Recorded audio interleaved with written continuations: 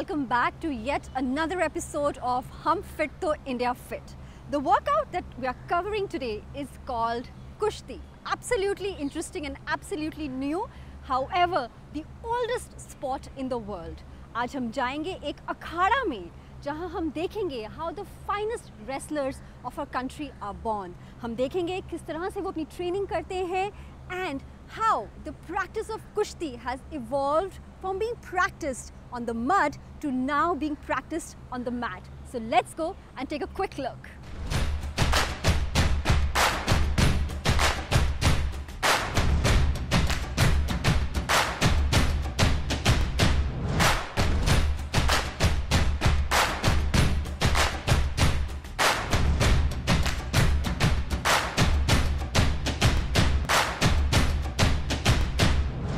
कुश्ती हमारे भारत का सांस्कृत का सांस्कृतिक खेल है, जो कि महाभारत के टाइम से खेला जा रहा है। बस कुश्ती के अंदर कुछ बदलाव हो गए हैं। मिट्टी से कुश्ती कुछ डेवलप होते हुए मैट पर आ गई है। रेसलिंग पावर का गेम है। रेसलिंग में जिस तरीके से दाव लगाए जाते हैं, उठा के पटकना तो उसमें काफ़ी पावर लगाई जाती है। जिसके लिए साथ के साथ जो हमारी ट्रेनिंग चलती है, वो बेहद ही टफ होती है। उसमें रनिंग होती है, रस्सा चढ़ना होता है पुशअप्स लगाना होता है दंड बैठक लगाना होता है साथ के साथ उस पर डाइट पे भी बहुत ध्यान देना पड़ता है। उसमें जूस दूध घी ड्राई फ्रूट्स ये तो मस्ट है। वो गेम है जो मानव सभ्यता जब पृथ्वी पर आई तब से कुश्ती का विकास हुआ है। छोटे छोटे जो रियासत थी उनमें कुश्ती लड़के वो रियासत को जीतते थे। पहले मल्ल युद्ध के नाम से कुश्ती को जाना जाता था जिसके अंदर दो पहलवान लगभग काफ़ी टाइम तक अपना दमकसी आजमाते थे।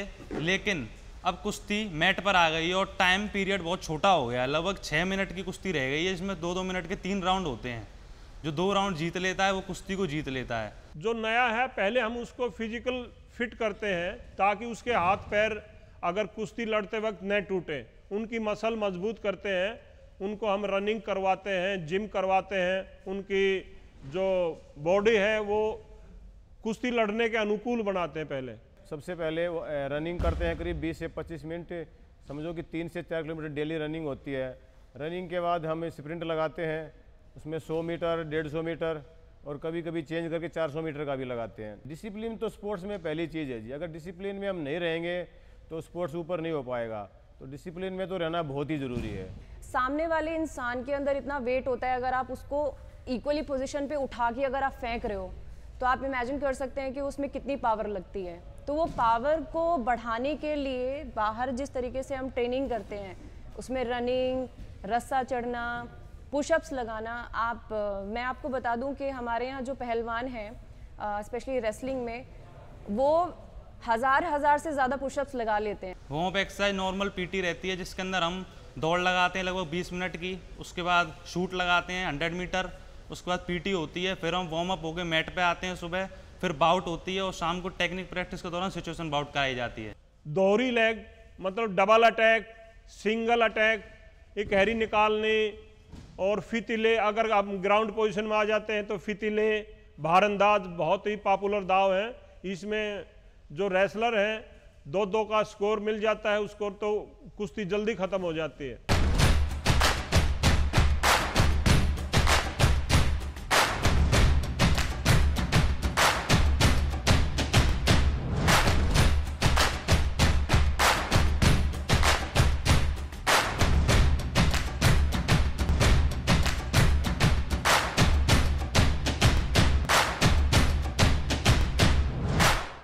टेक्निक्स तो बहुत प्रकार के होती है। उसमें से leg attack double leg attack single leg attack colour जांग हुआ ढाक हुआ।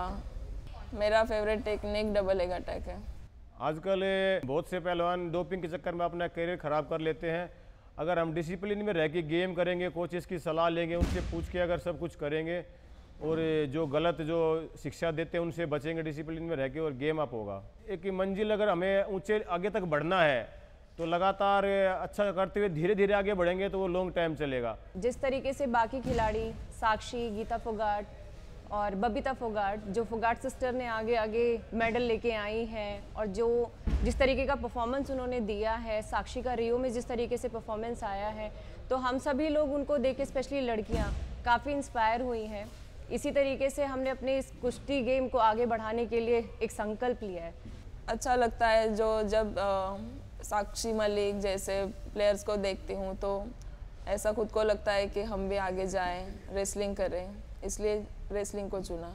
हमारे पास हर रोज पाँच पाँच, सात सात पेरेंट्स आते हैं अपने बच्चों के लेके भाई हमने अपने बच्चों को लड़की, लड़के दोनों तरह के आते हैं कि हमें उनको कुश्ती सिखानी है। तो ये ड्यू टू सुशील, योगेश और साक्षी मलिक, जिन्होंने इंडिविजुअल गेम में बहुत अच्छा प्रदर्शन किया है रेसलिंग में जिस तरीके से आजकल माहौल को देखते हुए पेरेंट्स बहुत डरते हैं अपनी लड़कियों को बाहर भेजते हुए तो मुझे ऐसा लगता है कि रेसलिंग में लड़कियाँ आती हैं तो जिस तरीके से उनका वो फिटनेस लेवल काफ़ी बढ़ जाता है, साथ के साथ वो मैट पे जिस तरीके की ट्रेनिंग करती हैं तो बाहर जाके उनको डरने की बिल्कुल ज़रूरत नहीं पड़ती।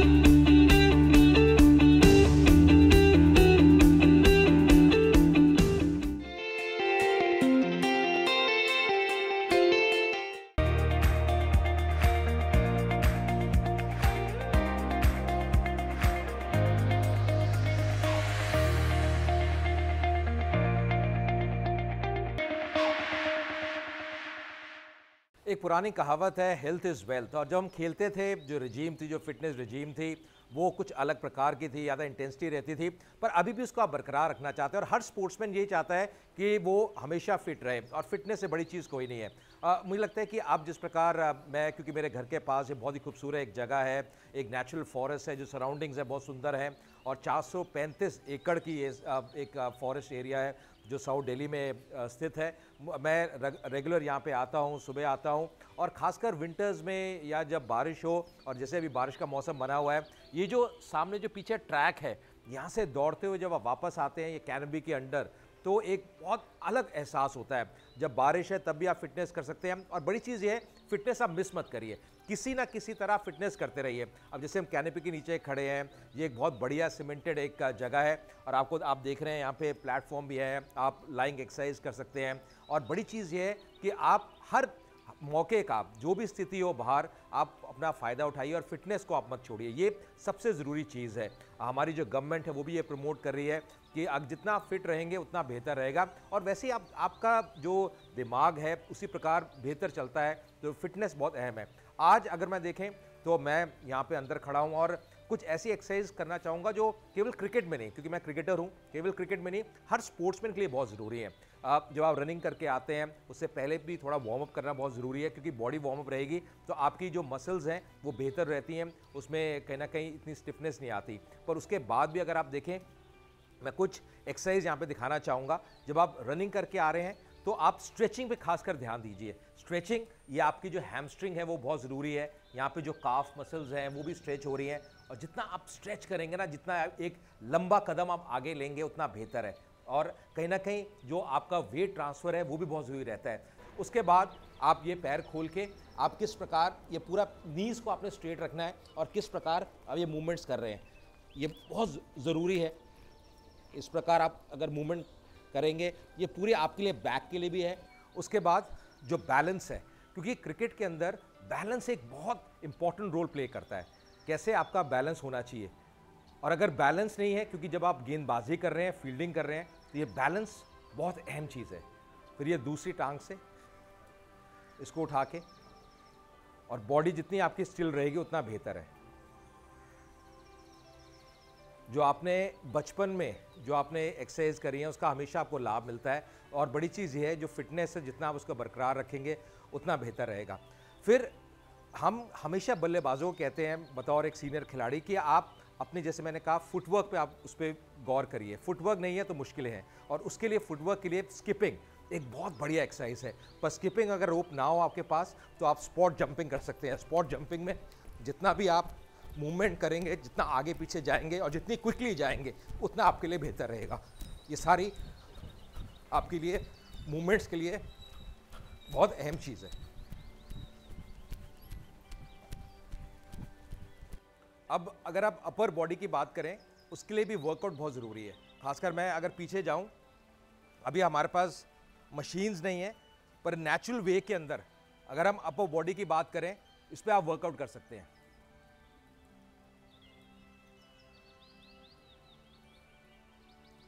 ये आपके शोल्डर्स के लिए, ये आपकी बैक के लिए बहुत बढ़िया चीज़ है। कहते हैं ना, कई बार आपके पास जो फैसिलिटीज़ नहीं है जिम तो बहुत बढ़िया चीज़ है, पर अगर जिम नहीं है तो और भी आप चीज़ों का प्रयोग कर सकते हैं। एक और चीज़ जो मैं कहना चाहूँगा, खासकर बॉलर्स के लिए, क्योंकि मैं एक क्रिकेटर हूँ, गेंदबाजों के लिए, आपके शोल्डर्स फास्ट बॉलर्स के लिए जो शोल्डर्स हैं, वो बहुत मज़बूत होने चाहिए। जितना शोल्डर्स में दम रहेगा पुशअप एक बहुत बढ़िया चीज़ है, जितना आप पुशअप्स करेंगे, उतना बेहतर रहेगा। पर शोल्डर्स की एक्सरसाइज जितना आप करेंगे शोल्डर्स का, क्योंकि आपने जब बॉलिंग करनी है तो आपकी जो मसल्स हैं, जो अपर बॉडी है उस पर काफ़ी लोड पड़ता है। बैक पे तो पड़ता ही है, पर जो अपर बॉडी है उस पर काफ़ी ज़ोर पड़ता है। तो ये जो शोल्डर्स के लिए एक्सरसाइजेज हैं और बेसिक एक्सरसाइजेज हैं, मुझे लगता है कोई भी युवा, कोई भी बच्चा, वो ये एक्सरसाइज कर सकता है, कोई बहुत मुश्किल नहीं है, कठिन नहीं है। मेरे फादर जो टेस्ट क्रिकेटर थे और बचपन में मुझे यही बताते थे मिस्टर विजय मेहरा कि आप, आपको हर गेंद को ऐसे सोचना है कि ये आपकी अंतिम गेंद है, आपको वैसे ही कॉन्सेंट्रेट करना है। और ये मुझे लगता है कि हर बच्चे को ये सोचना चाहिए और तभी आप आगे बढ़ेंगे जितना आप प्रोग्रेस करेंगे। और कई बार क्या होता है, जैसे अभी बहुत बढ़िया मौसम है, सुहाना मौसम है, बारिश हो रही है, ठीक है, आप रनिंग करना थोड़ा कठिन है, पर इंडोर में आके आप फिटनेस पे ज़ोर कर सकते हैं। फिर मुझे लगता है कहीं ना कहीं जो लाइंग एक्सरसाइजेज हैं, वो भी बहुत इंपॉर्टेंट है आपके एब्डोमन के लिए। क्योंकि जितना आप फिटनेस रहेगी एब्डोमन एक बहुत इंपॉर्टेंट रोल प्ले करता है। जितने आप फिट हैं, जितने आपका एब्डोमन इतना बढ़िया है तो मुझे लगता है कि आपकी बैक पे भी उतना कम लोड पड़ता है। तो कहीं ना कहीं जो एक्सरसाइजेज हैं, जैसे आप स्ट्रेचिंग करते हैं, आप लाइंग एक्सरसाइज करते हैं, उसका भी काफ़ी आपको लाभ मिलता है। एक और चीज़ जो मैं करना चाहता हूँ, जो आजकल योगा का, हमारी गवर्नमेंट भी बहुत इस पर इम्पोर्टेंट रोल प्ले कर रही है, हमारे प्रधानमंत्री भी कर रहे हैं। और योगा एक ऐसी चीज़ है जो हर स्पोर्ट में, हर स्पोर्ट्समैन को अपनानी चाहिए। और हमारे प्रधानमंत्री तो लगातार इस पर पहल भी कर रहे हैं, योगा डे भी है तो मुझे लगता है इससे बढ़िया चीज़ कोई नहीं है। ये जितनी चीज़ें आप अपना लेंगे, उतना बेहतर रहेगा। वो जो एक एक्सरसाइज है, जो मैं लगातार करता हूँ, वो भी आपको दिखाना चाहूँगा।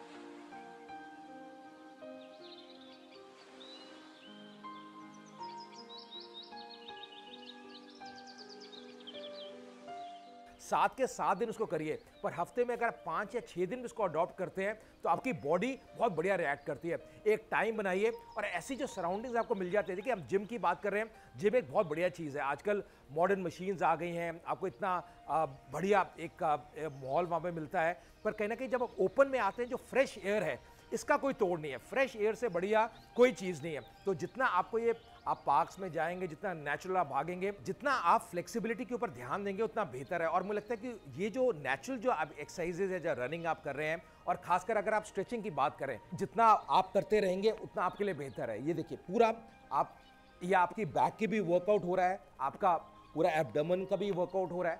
तो इसको आप रिपीट करिए। इसको आप 10-15 आप इसके सेट्स बनाइए और तीन या चार दफ़ा इसको रिपीट करिए तो बहुत बढ़िया चीज़ रहेगी। उसके बाद एक और बहुत बढ़िया चीज़ है जो आपके लिए स्ट्रेचिंग के लिए है। आपने टो पे खड़ा होना है और पूरी बॉडी को ऐसे करिए जैसे कि आप ऊपर की तरफ़ खींच रहे हैं। पूरा स्ट्रेच करिए। यह आप, ये पूरी बॉडी के लिए बहुत बढ़िया चीज़ है। जब हम मैचेस खेलते थे, जब हम फ़र्स्ट क्लास क्रिकेट खेलते थे या बड़े मैचेस खेलते थे तो आप ये स्ट्रेच करते हैं और जितना आप थोड़ा सा आप थोड़ा रुकिए वहाँ पे। आपके ये काफ के लिए पूरा, आप मूवमेंट के लिए बहुत बढ़िया है। कई बार क्या होता है, जब आप ड्रेसिंग रूम में रहते हैं, बाहर बारिश हो रही है या ठंडा मौसम है तो आप स्पॉट रनिंग कर सकते हैं और ये आपके लिए बॉडी के लिए बहुत बढ़िया चीज़ है। पूरा नीज को ऊपर लेके जाइए और अपने जो हाथ की मूवमेंट है साथ में, वो भी बड़ी ज़रूरी है। केवल ये नहीं कि पैर के नीज को ऊपर लेके जाना है, जो आपकी हाथ की मूवमेंट है, ये भी बहुत अहम है। क्रिकेटर्स के लिए बहुत अहम है जो आप डाइट लेते हैं, क्योंकि आप वर्कआउट करते हैं, आप गर्मी में खेलते हैं, आप स्वेटिंग आपको बहुत होती है।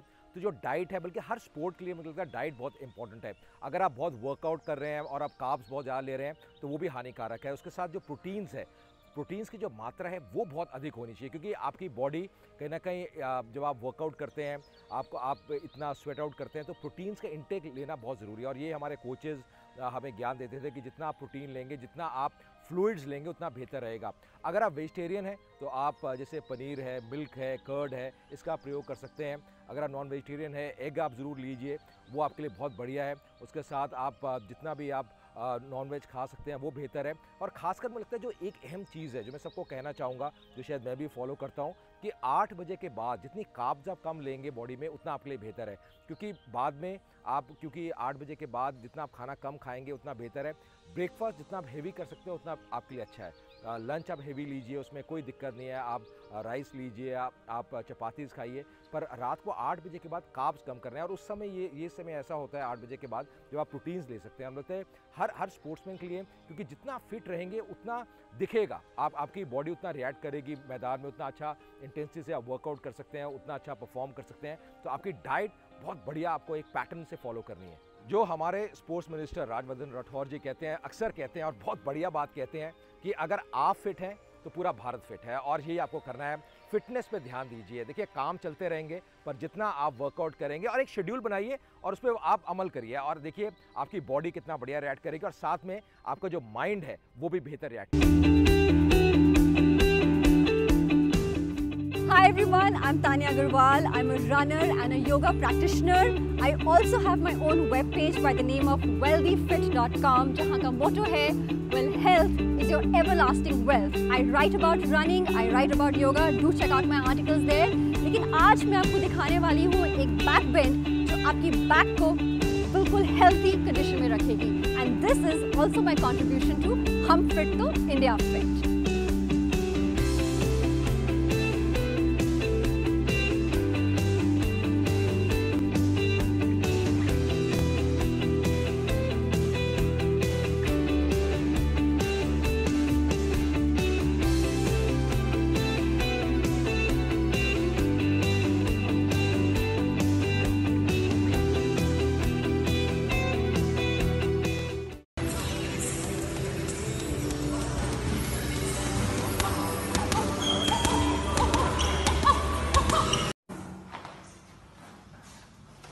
Very nice.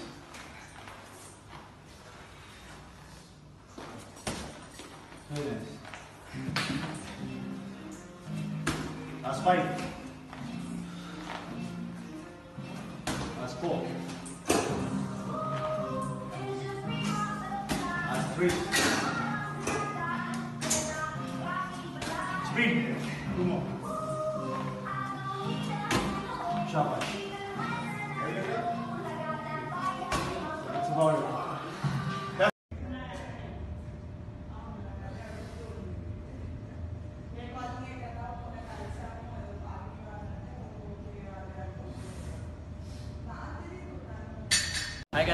Thank you for nominating me. This is my favorite workout on the Vertimize. I'm fit for India Fit.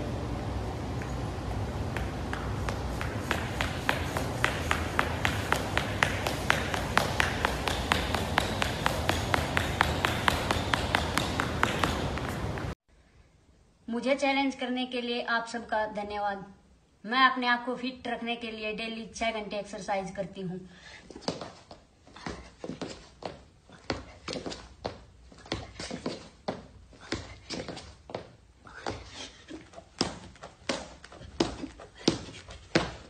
मेरी फिटनेस का राज तो ये है।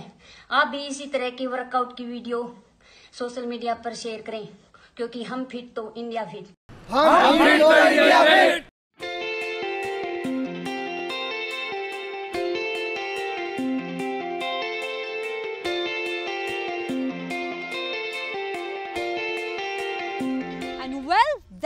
is a wrap. We'll be back next week with some more fitness trends, some more inspiring stories, and some more tips on nutrition. Stay healthy, stay fit. Hum fit to India fit.